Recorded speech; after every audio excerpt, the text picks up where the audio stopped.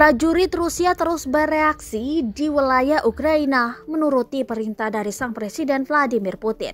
Terbaru dalam unggahan channel YouTube Kementerian Pertahanan Rusia Sabtu 12 Maret 2022. Dalam video, nampak prajurit berada dalam sebuah mobil lengkap dengan kamera pengintai. Kondisi di wilayah Chernihiv juga nampak dipenuhi dengan hujan salju. Disebutkan unit pengintai pasukan khusus mengidentifikasi kelompok sabotase nasionalis Ukraina dan rute pergerakan unit angkatan bersenjata Ukraina.